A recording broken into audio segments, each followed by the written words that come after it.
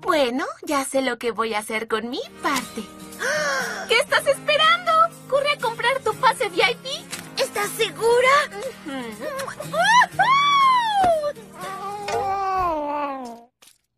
Ups, mi culpa.